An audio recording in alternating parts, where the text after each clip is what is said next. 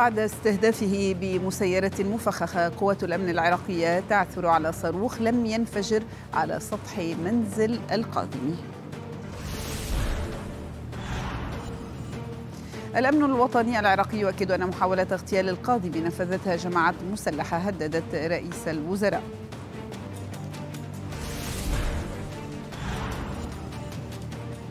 وفد من الجامعة العربية للخرطوم بحثا عن حل والأمن يفرق محتجين مشاركين في عصيان تجمع المهنيين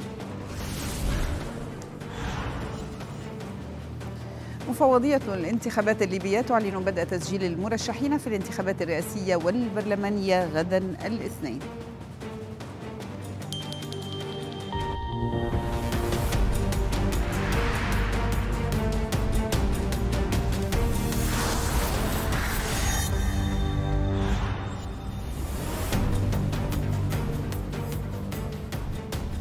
أهلا ومرحبا بكم مشاهدينا مجددا برفقتنا مع قناة الحدث في متابعة لآخر التطورات في العراق.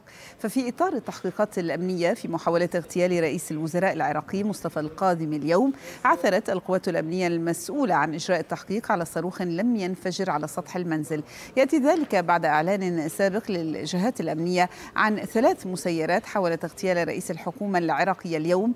محاولة الاغتيال وجهت أصابع الاتهام فيها وجهت بشكل شبه واضح من قبل المجلس الوزاري للأمن الوطني للجماعات التي هددت سابقا وبصراحة.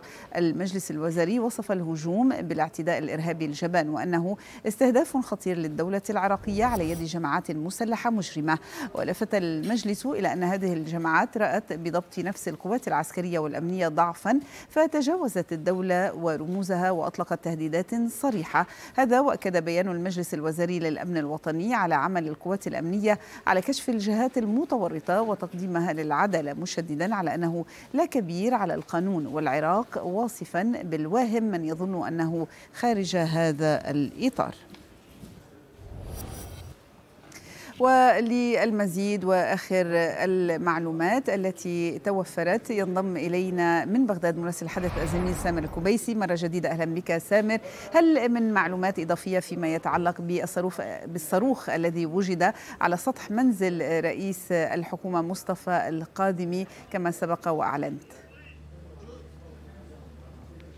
نعم جيزيل القوة الأمنية المسؤولة عن التحقيق وجمع الأدلة وجدت هذا الصاروخ على منزل رئيس الوزراء مصطفى الكاظمي. كذلك شيئا فشيئا بدأت تتضح صور أخرى وهي صورة للطائرة المسيرة التي استهدفت منزل رئيس الوزراء والتي أيضا أسقطتها القوات الأمنية قبل قليل.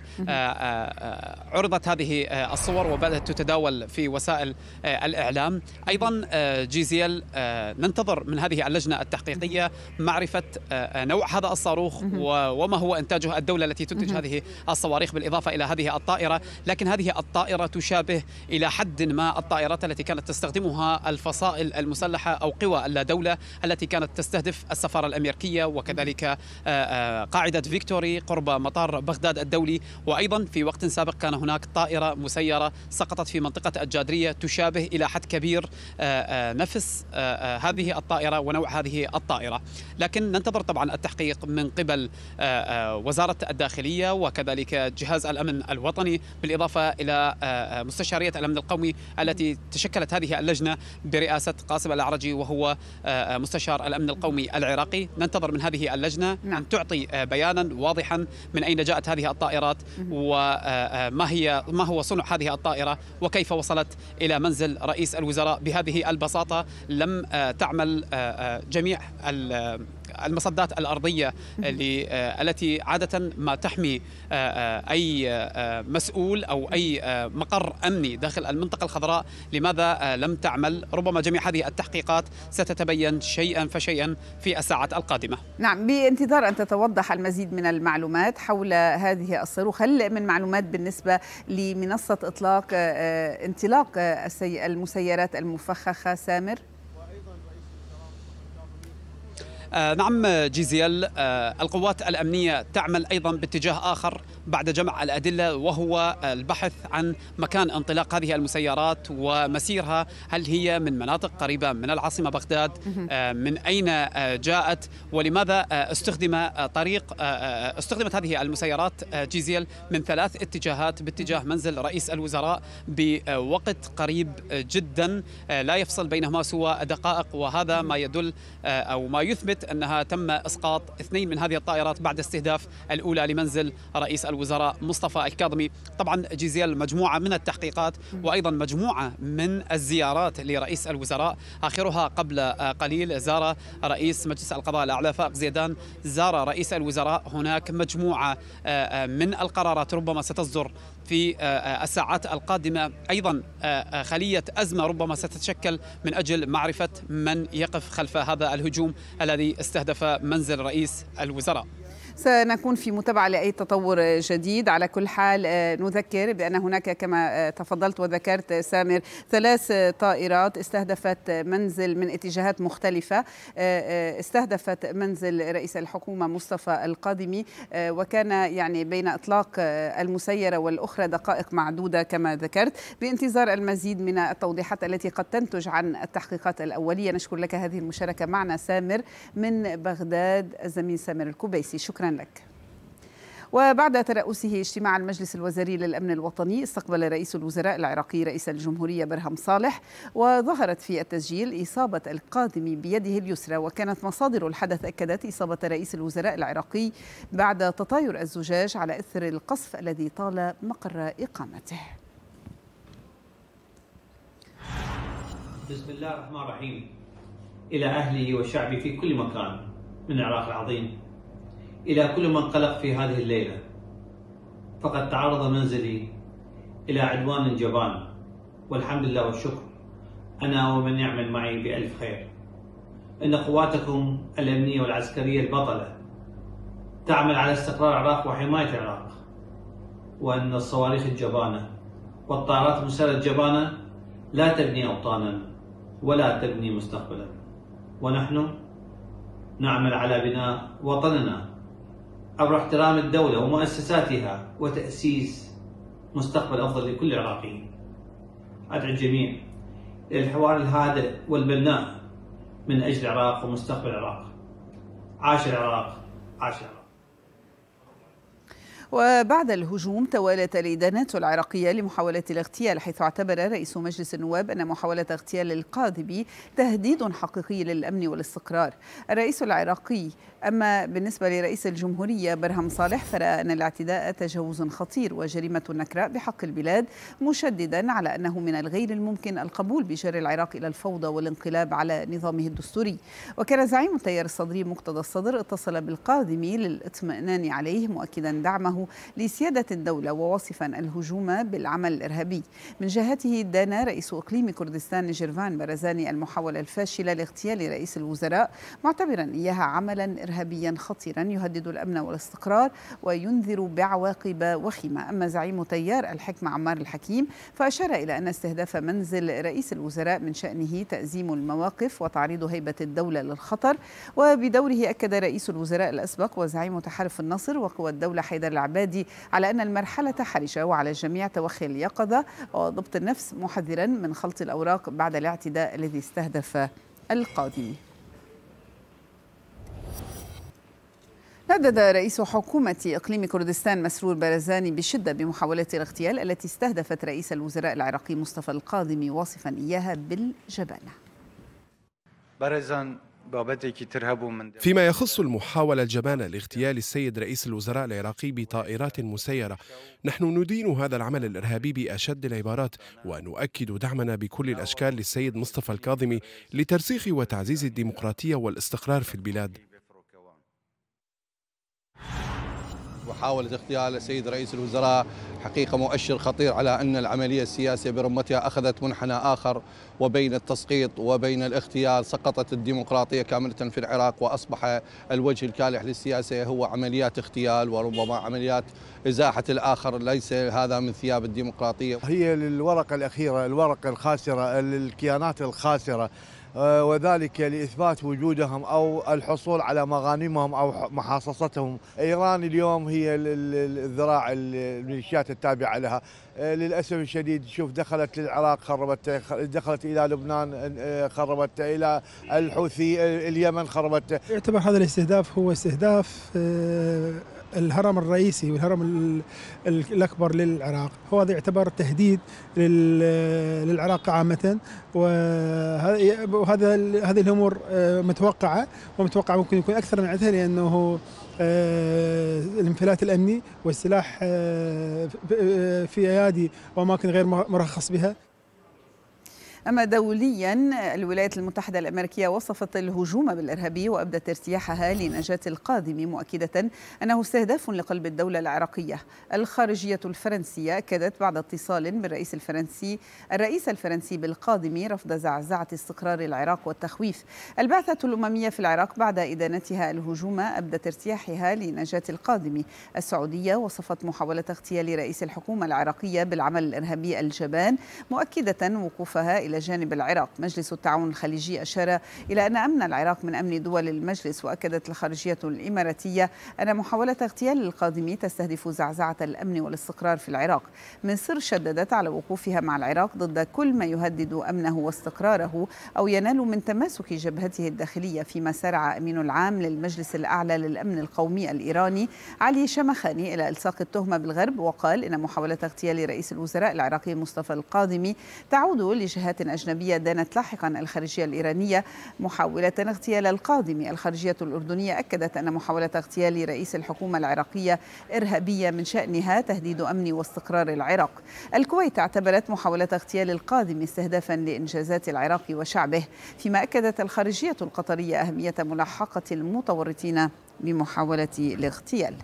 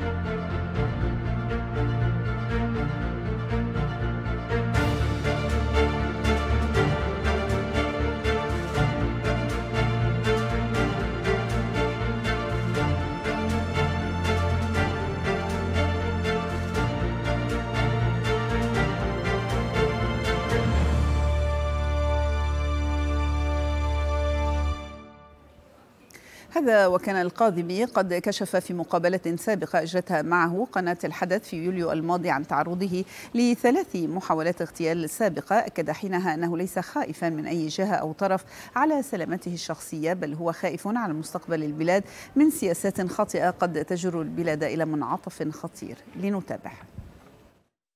أنا أقبلت بهذا المنصب أتحمل كل تبعاته الإيجابية والسلبية.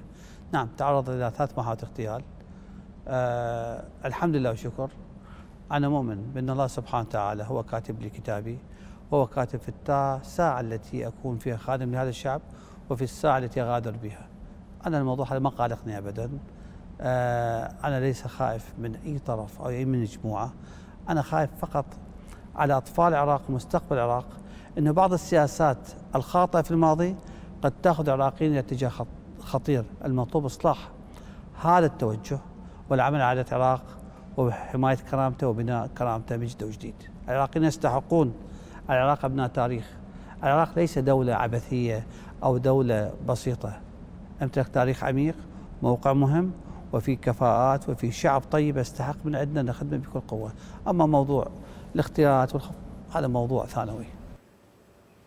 وللوقوف عند تبعات هذا الاستهداف ينضم إلينا من لندن الباحث في المركز الأوروبي لدراسات مكافحة الإرهاب والاستخبارات مجاهد السميضعي أهلا بك. وأيضا يرافقنا من بغداد الإعلامي والمحلل السياسي فلاح الذهبي. أهلا بكما برفقتنا مع قناة الحدث إلى هذه الساعة الإخبارية. نبدأ مع السيد مجاهد. سيد مجاهد استفاق العراق اليوم على صدى محاولة اغتيال لرئيس الحكومة مصطفى القادمي وفشلت وهي ليست المرة الأولى هل برأيك اليوم العراق هو بحالة تهديد حقيقي لأمنه واستقراره أو ما زال بالإمكان تجاوز هذه الأمور؟ يعني من الواضح تحدي قوى اللا دولة وسعيها ل لإدخال البلد في مأزق كبير وهو مأزق الاقتتال الداخلي فقط لأنهم خسروا المكاسب التي كانوا يحتوون عليها. بالتأكيد هو تهدد أمن العراق وتهدد أمن المنطقة برمتها، العراق لو دخل في اقتتال طائفي فإن جميع المنطقة ستتضرر من هذا الاقتتال. هذه هذه القوى قوى لا دولة تمتلك تمتلك مسيرات، تمتلك صواريخ، تمتلك إمكانيات كبيرة موازية لإمكانيات الدولة في السابق، حاول الكاظمي كثيرا الحد من هذه السلطات ولكنه فشل في الماضي ونتيجة الفشل إن هذه السلطات هذه القوى الآن تحاول التهديد المباشر لهرم السلطة التنفيذية في العراق محاولة اغتيال أو قتل رئيس وزراء هي ليست بالمحاولة هي ليست شيء سهل. محاولة القتل بثلاث مسيرات في مكان واحد لاستهداف منزل واحد بدقائق معينة. هي محاولة بالتأكيد هي هي هي تحديد واضح لأمن البلد. باعتقادي على السيد الكاظمي فتح تحقيق موسع بإمكان التعاون العراق مع الولايات المتحدة حيث أن الولايات المتحدة أعلنت بإمكانياتها لمساعدة العراق باعتقادي يستطيع السيد الكاظمي تحديد الأماكن التي انطلقت منها هذه المسيرات تحديد أماكن السيطرة التي كانت تدير هذه المسيرات. لا يجب العراق لا يجب على الحكومة العراقية أن تتوقف عند هذا الموضوع. هذا الموضوع يجب أن يحسم بحسم واضح إلى الشعب العراقي وإلى الأجهزة الأمنية العراقية. يمتلك أجهزة أمنية كبيرة لديها إمكانيات واسعة باستطاعتها إذا ما أرادت إيقاف قوى لا دولة تستطيع هذه القوات الأمنية إيقافها إذا ما امتلكت القيادة الحقيقية القادرة على التغيير فإن بالعراق العراق باعتقادي باستطاعته التغيير الشعب في الانتخابات قال كلمتها الواضحة خسارة هذه المجاميع لغالبية أصواتهم في الانتخابات. وضعهم في موقف محرج ووضعهم أمام الشعب العراقي جميعا. جميع الشعب العراقي الآن لا يريد القوى المسلحة خارج الدولة وجميع الشعب العراقي الآن يريد الإصرار على على الأمن والحفاظ على الأمن العراق. ولا يجوز السماح لأي جهة أن تمتلك إمكانيات أعلى بإمكانيات الدولة وتهديد الدولة حيث إن تهديد الدولة ليس له نهاية سوى الاقتتال الداخلي والنهايه الغير جيدة للجميع.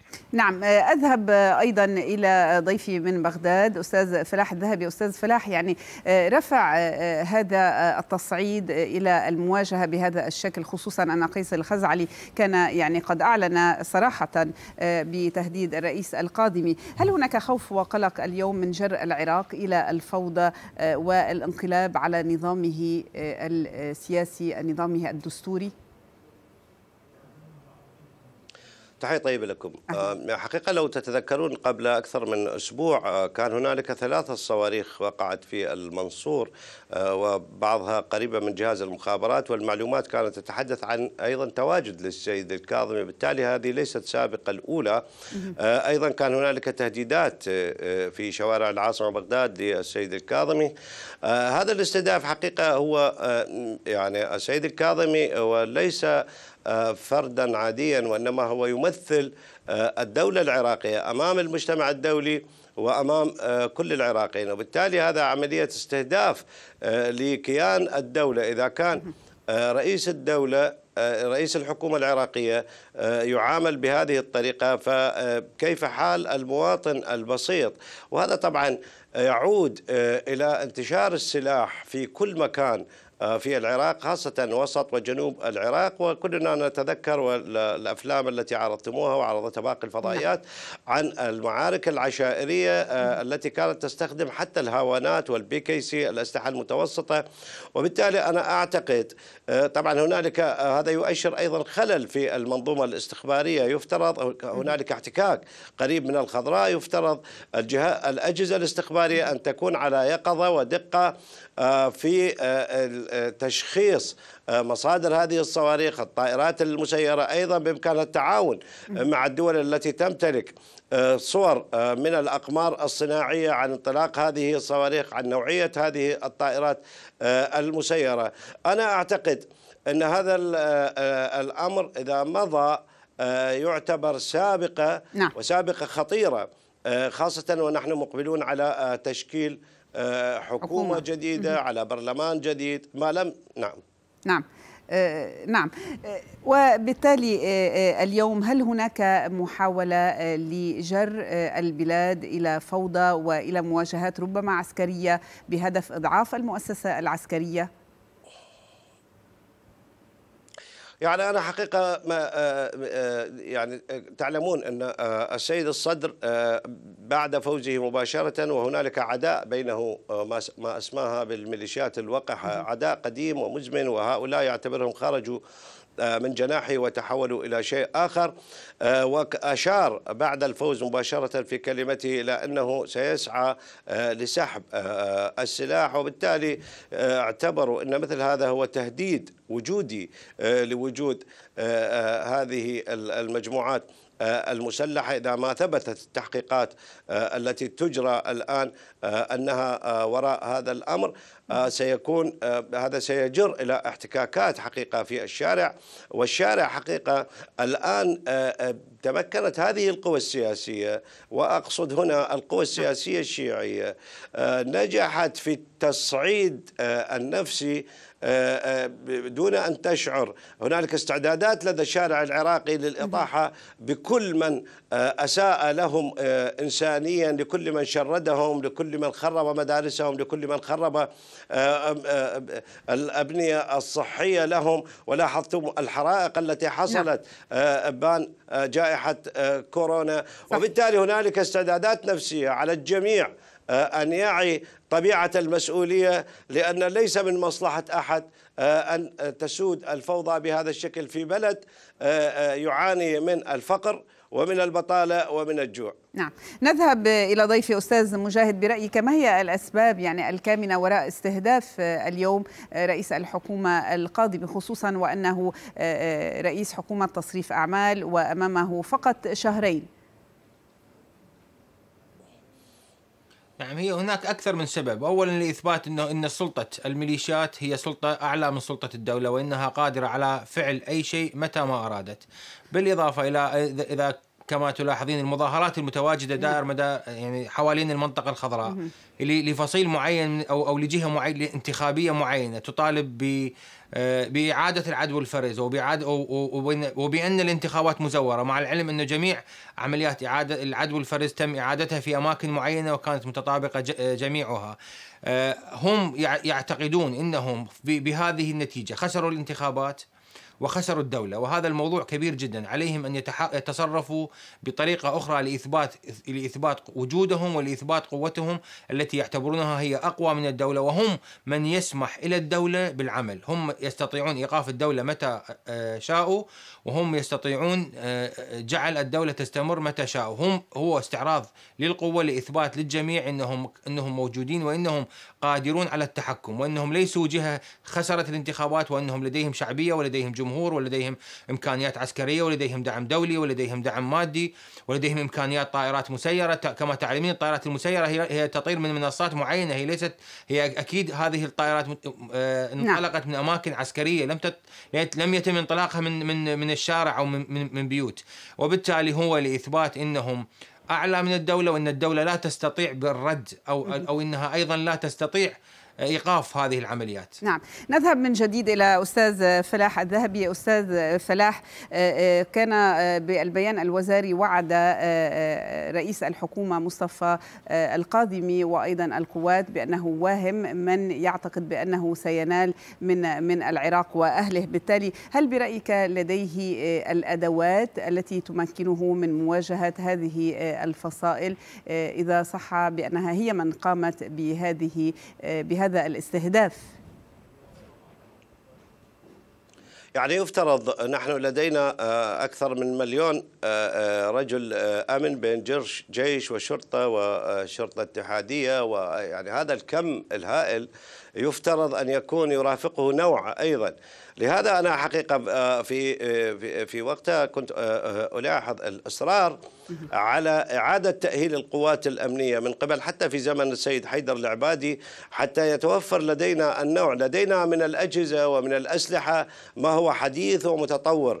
لدينا بعض الأجهزة الأمنية كجهاز الأمن الوطني يمتلك أيضا قدرات استخبارية عالية. لدينا جهاز مكافحة الإرهاب. بالتالي هذه الأجهزة يفترض أن يكون هذا هو دورها الحقيقي في عملية الكشف وبالتالي يكون لها دور أيضا في حفظ كيان الدولة وحفظ أمن العراقيين. لأن ما هي الحكومة؟ هي الحكومة هي أمن وخدمات.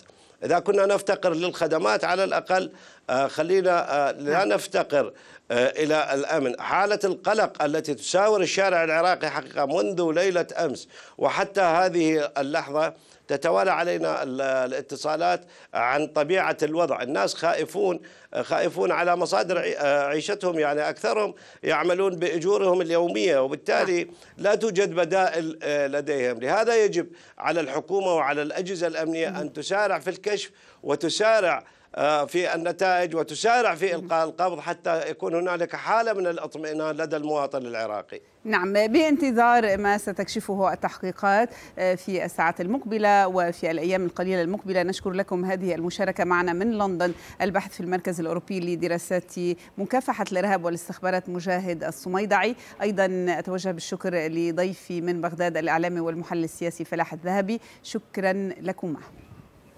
نشرتنا مستمرة فيها أيضا بعد الفاصل فتح باب الترشح للانتخابات الرئاسية والبرلمانية الليبية وقبول الطلبات بدءا من يوم الاثنين.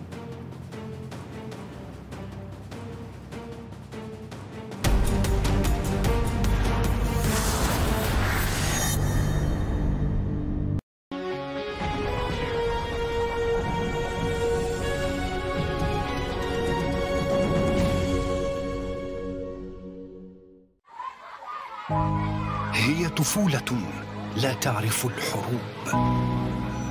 العنف. القسوة. لا تعرف الكراهية.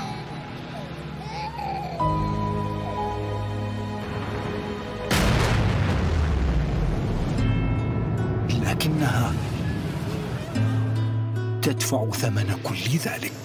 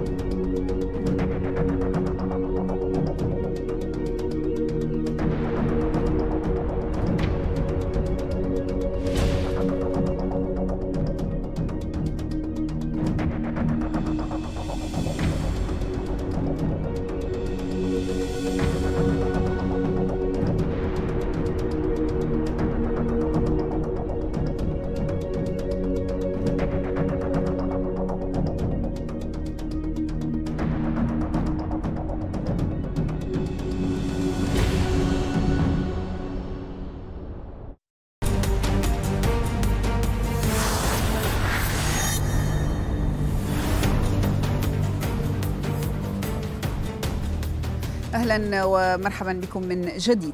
فرقت قوات الأمن السودانية متظاهرين في الخرطوم بإطلاق قنابل غاز مسيل للدموع في اليوم الأول من حملة عصيان مدني دعا لها تجمع المهنيين مع تأزم المفاوضات السياسية وتصعيد تجمع المهنيين. يزور وفد رفيع المستوى من الأمانة العامة للجامعة العربية برئاسة السفير حسام زكي في محاولة لمعالجة الوضع المتأزم في السودان. مصدر بالجامعة قال إنه من المقرر لقاء الوفد مع القيادات السودانية من المكونات المختلفه بهدف عبور الأزمة السياسية الحالية في ضوء الاتفاقات الموقعة والحاكمة للفترة الانتقالية بما يحقق تطلعات الشعب السوداني نحو السلام والتنمية والاستقرار.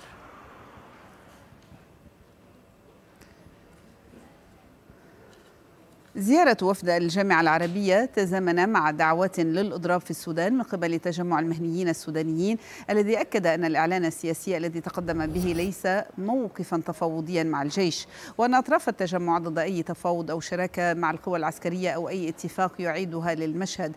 كما ثمن تجمع المهنيين في بيان له مواقف حمدوك الرافضة للتعاون مع الجيش. وأكد أن اختيار شخصية وطنية مستقلة لرئاسة الوزراء يجب أن يتم بالتوافق بين قوى الثورة وأنه إذا تم اختيار حمدوك يجب أن يتم ذلك بوضع دستوري جديد بعد إلغاء الوثيقة الدستورية. وأن العودة لما بعد الخامس والعشرين من أكتوبر ليست أمرا مطروحا.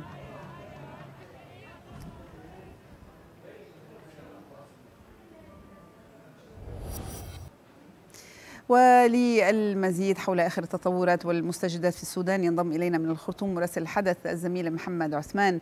أهلا بك مرة جديدة محمد ما الجديد في السودان اليوم ومع وصول الوفد وفد الجامعة العربية ودخوله على خط الأزمة السودانية؟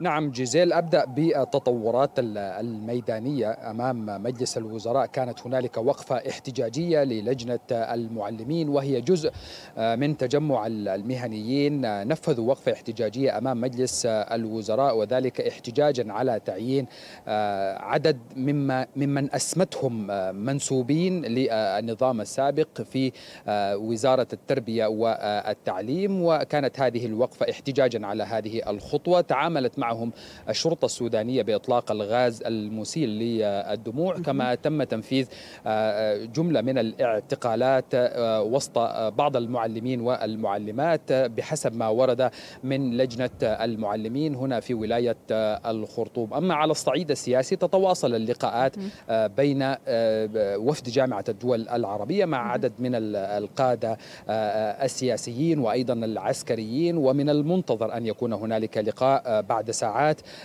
بين وفد الجامعة العربية مع قائد الجيش السوداني الفريق أول عبد الفتاح البرهان وذلك لفهم طبيعة الأزمة السودانية وبالتالي إيصال رؤية واضحة رؤية جامعة الدول العربية لهذه الأزمة في محاولة لتقريب المسافات التي تباعدت بشكل واضح بحسب بعض التسريبات ما بين المكون العسكري والمكون المدني إذ تمسك كل طرف بالمطالب والشروط التي وضعها على طاولة النقاش إذ تحدث أيضا الدكتور عبد الله حمدوك يجب الاحتكام إلى الوثيقة الدستورية التي عطلت بها بعض البنود إثر البيان الذي تلاه قائد الجيش السوداني في الخامس والعشرين من من أكتوبر. وبالتالي نحن نستطيع القول بأننا أمام مشهد معقد ومشهد صعب بانتظار أي اختراق يمكن أن تحدثه الوساطة وساطة جامعة الدول العربية. ربما تنجح فيما فشلت فيه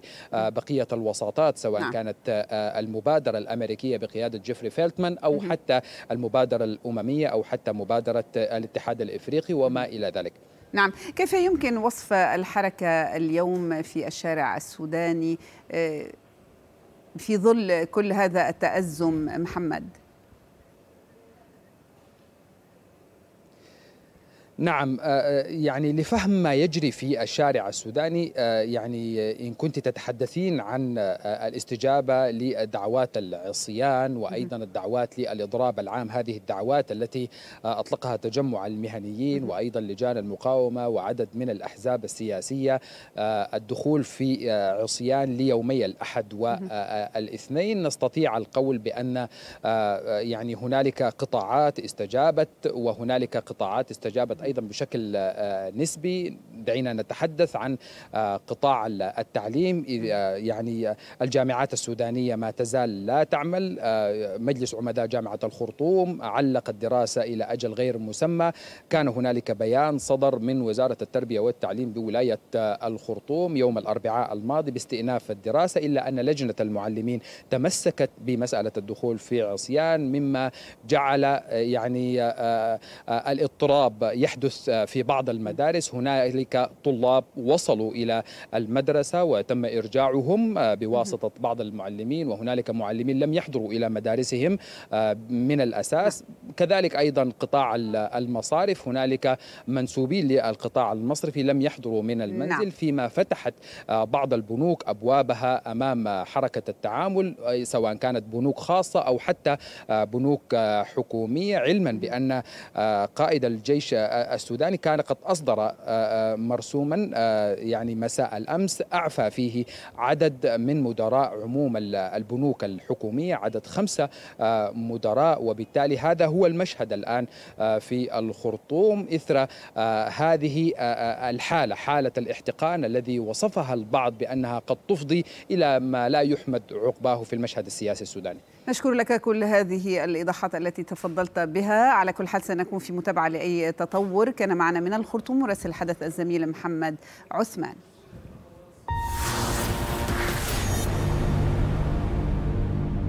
أيضا نشير إلى هذا العاجل من العراق عن المجلس الوزاري للأمن الوطني. يشكل لجنة عليا للتحقيق بمحاولة استهداف رئيس الحكومة مصطفى القاضمي وستكون برئاسة مستشار الأمن القومي وسنوافيكم بأي جديد فيما يتعلق بالملف العراقي وبمحاولة استهداف رئيس الحكومة مصطفى القاضمي أيضا نقلت وكالة رويترز عن مسؤول في حكومة الوحدة الوطنية الليبية أن رئيس الوزراء عبد الحميد الدبيبة يعتزم الترشح للرئاسة. يأتي ذلك فيما أعلنت المفوضية العليا للانتخابات الليبية فتح باب الترشح للانتخابات الرئاسية والبرلمانية في البلاد والمقرر إجراؤها في الرابع والعشرين من ديسمبر وذلك بعد استلام كافة التعديلات الفنية التي طلبتها المفوضية من مجلس النواب.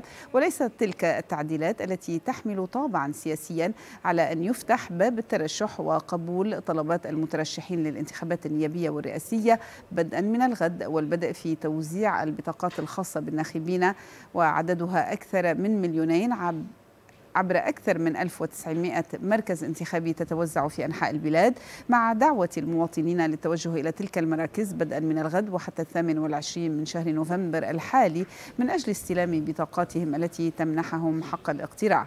وخلال مؤتمر صحفي أكد رئيس المفوضية عماد السيح على أن ليبيا الآن أمام مفترق طرق وأن الدعوة لهذه الانتخابات تمثل دعوة لتقرير مصير البلاد مطالبا الليبيين بالتوحد وبتحمل مسؤولياتهم كما أكد السيح على أن المفوضية تتعرض لحملة تزييف وتضليل تحاول النيل من سمعتها وإفقادها ثقة الس...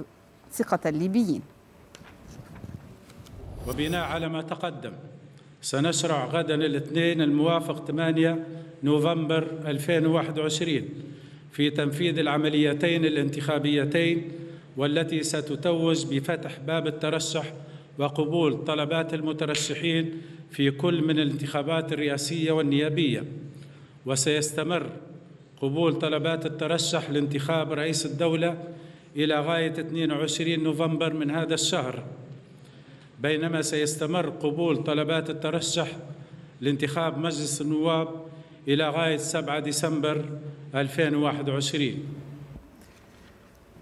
هذا ودعا عماد السائح رئيس المفوضية العليا للانتخابات في ليبيا جميع المواطنين الراغبين في تقديم طلبات الترشح إلى الالتزام بتعليمات لجان القبول والاعتماد. وندعو جميع المواطنين الراغبين في تقديم طلبات الترشح إلى الالتزام بتعليمات لجان القبول والاعتماد وتقديم المستندات المطلوبة دون أي تأخير أو تعليل. كما سيتم البدء في تنفيذ عملية توزيع البطاقات الخاصة بالناخبين وهي عملية تعد الأولى من نوعها ولا تقل أهمية عن عملية قبول طلبات الترشح حيث ستفتتح مراكز الانتخاب أبوابها ابتداء من يوم الغد الموافق 8 نوفمبر 2021 تتعرض المفوضية إلى حملة من التضليل والتزييف في محاولة للنيل من سمعتها ومنطقة, ومنطقة الليبيين فيها.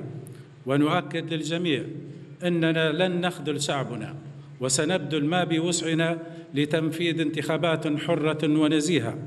وفي الوقت نفسه سوف لن نتهاون مع من يحاول العبث بإجراءاتنا أو التأثير على مخرجاتها.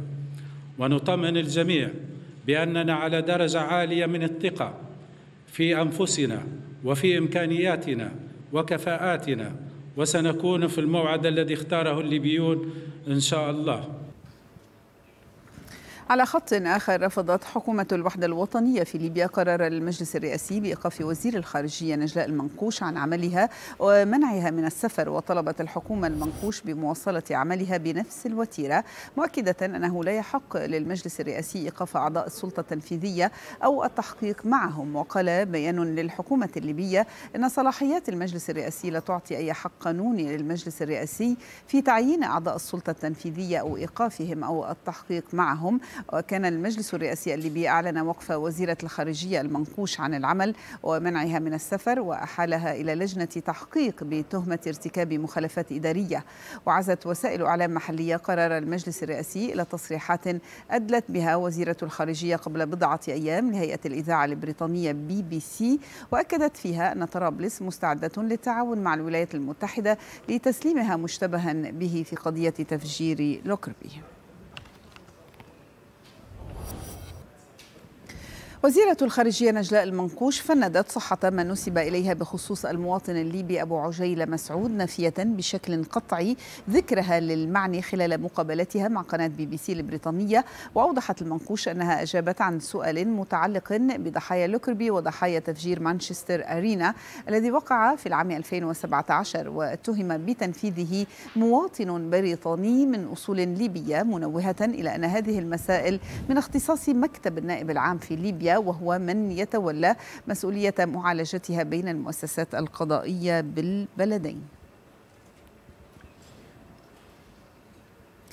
وللمزيد حول هذا الإعلان من قبل المفوضية العليا للانتخابات ينضم إلينا من بنغازي محمد مسعود مراسل الحدث. أبرز ما تطرق له هذا الإعلان مسعود فيما يتعلق بفتح باب الترشح وبالنسبة طبعا للتواريخ.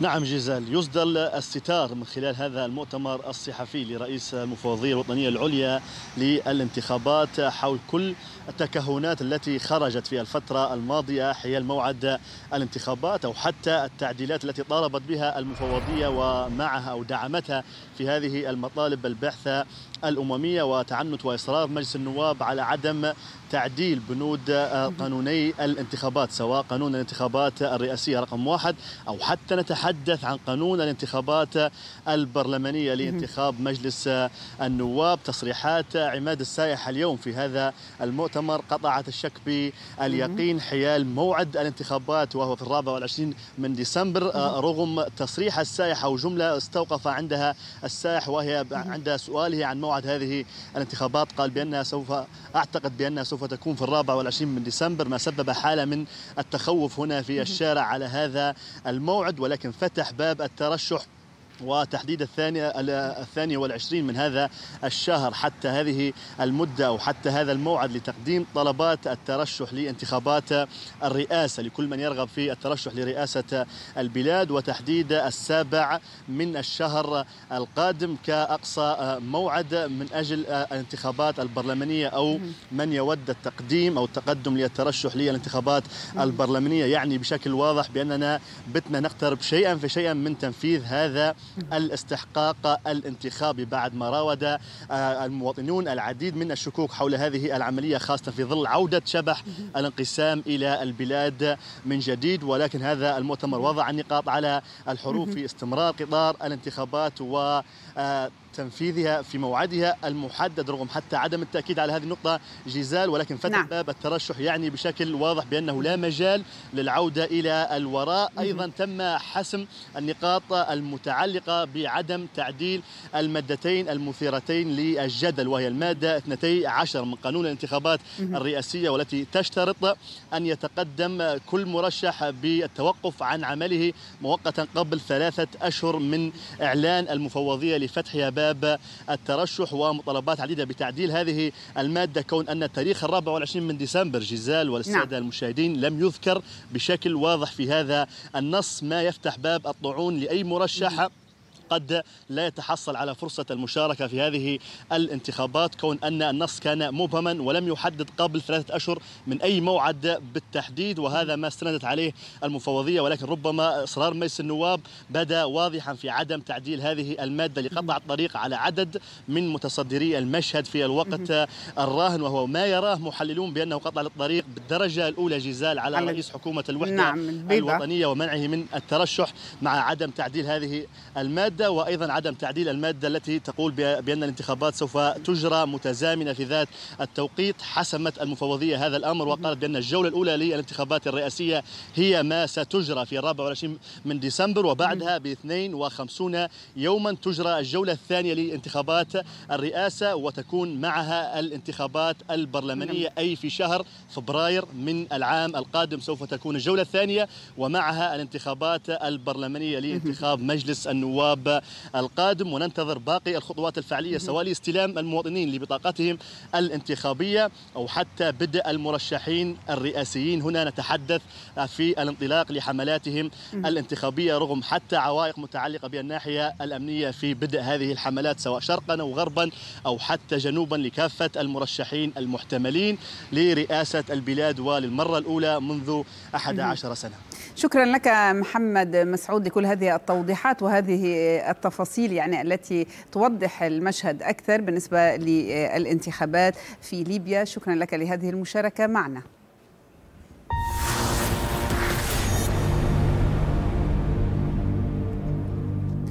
أفادت مصادر في الجيش اليمني أن عددا من القادة الميدانيين لميليشيات الحوثي قتلوا الأحد في معارك مع الجيش الوطني والمقاومة في جبهات جنوب مأرب وأوضحت المصادر أن القيادي الحوثي أحمد عايد شرف الدين الملقب بأبو بارود قائد تسليح ما يسمى المنطقة الخامسة للحوثيين قتل مع مرافقيه في جبهة الجوبة. وأضافت المصادر أن قائدي جبهتي العمود والجوبة الحوثيين قتلا أثناء المواجهات مع وصول تعزيزات للجيش والمقاومة إلى الجبهة.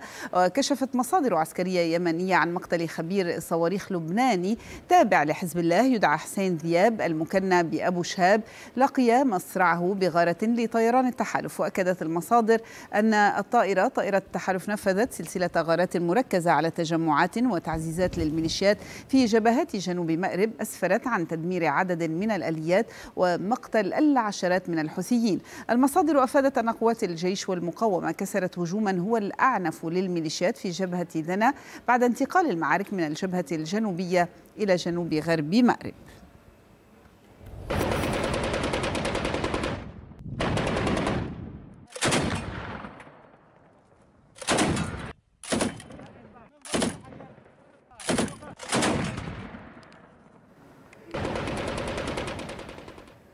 بالتزامن مع استمرار التصعيد الحوثي في جبهات مأرب أكد محافظ مأرب اللواء سلطان العرادة أن مأرب صمدت وستصمد في وجه المشروع الإيراني مضيفا أن ميليشيا الحوثي لن تصل إلى مبتغاها. مأرب صمدت وستصمد. مأرب كسرت أنوفهم في البداية وستقضي بإذن الله على هذا المشروع في النهاية بحول الله. مأرب برجالها مأرب بجيشها مأرب بأمنها مأرب بجمهوريتها بالجمهورية اليمنية مأرب بالشعب اليمني مأرب بالله أولا آه ثم بمساندة التحالف العربي آه تقف لصد هذا المشروع الدخيل على البلد. وكشف محافظ مأرب أن اليمنيين في المناطق الخاضعة للميليشيا يعيشون مكرهين ولا يريدون بقاء الحوثي لحظة واحدة مستدلا على ذلك بالنزوح الكبير والهائل إلى المحافظات المحررة. الذي يعيش مكرها تحت سيطرة الحوثي لا يريد لا يريد بقاء الحوثي لحظة واحدة. الناس نزحوا فعلا وأعداد هائلة وكم هائل من النازحين يأتي إلى هنا وهو يكثف يعني المسؤولية ولكن لابد أن نقف. وإلى جانبنا حكومتنا الرشيدة يجب أن تقف على مسؤولياتها في هذا الاتجاه. وقال لواء العرادة أن اليمنيين من كل المحافظات يقفون كرجل واحد في المعارك الجارية في مأرب. نحن على تواصل مع كل الأشقاء في هذا الجانب وكل الأخوة اليمنيين على كل المستويات. أنا لا أجد لا أجد أبدا أي أي شيء يحول بيني وبين أخ يقاتل الحوثيين. والإخوان في العمالقة والإخوة الذين جاءوا من عدن والذين جاءوا من لحج والذين جاءوا من أبين والذين جاءوا من حضرموت ومن شبوة ومن كل المحافظات. يقفون إلى جانبنا في المعارك الآن موجودين بالشهداء والجرحى والوقوف جنبا إلى جنب. نحن نتكلم هنا كشعب واحد. الكل يقف جنبا إلى جنب. لا لا لا. أنا ممكن أقاتل في الساحل. والله لو لم تكن عندي معركة في مارب لا أذهب أقاتل مع طارق هناك. ولولا أنه على ثغرة لا أقول تعال إلى عندي.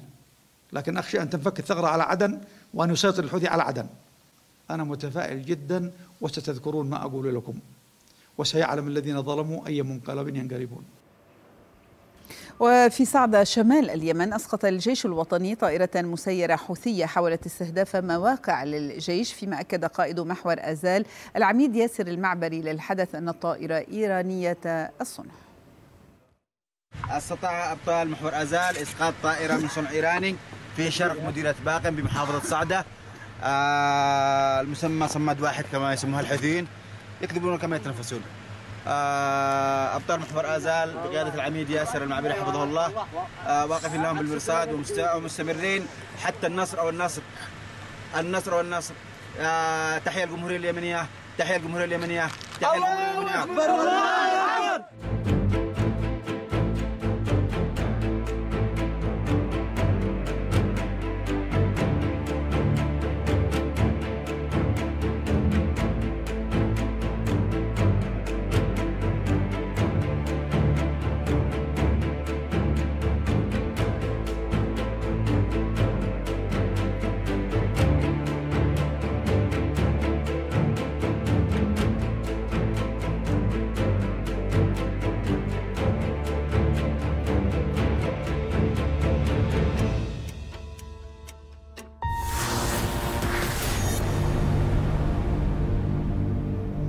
قبل أقل من شهر من المحادثات النووية المقبلة مع الغرب أطلقت طهران مناورات حربية على ساحل خليج عمان تشارك فيها وحدات من القوات البحرية والجوية والبرية.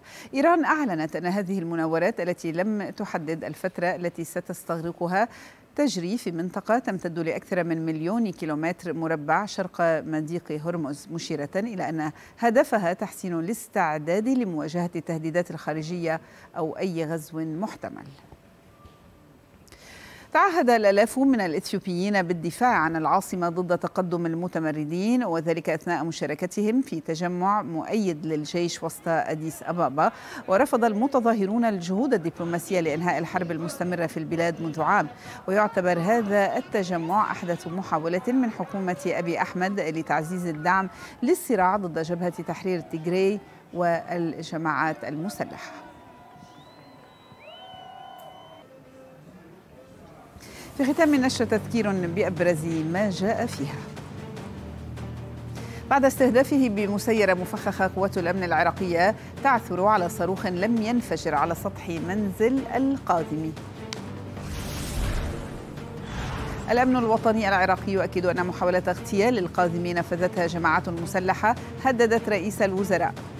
وفد من الجامعة العربية إلى الخرطوم بحثا عن حل والأمن يفرق محتجين مشاركين في عصيان تجمع المهنيين.